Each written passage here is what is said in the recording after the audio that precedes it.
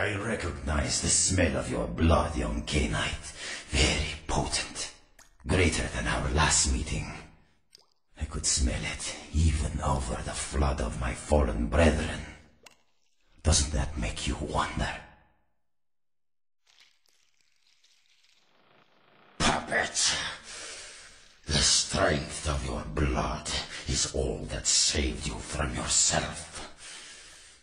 Wretched, weak-minded mongrel. The blood is wasted in you. Wasted! Miserable, ignorant spawn. You are blind. The sarcophagus must be destroyed. I will do it myself if I must. And you, you will be purified. It is the blood that he is speaking through. The blood of all the pawns.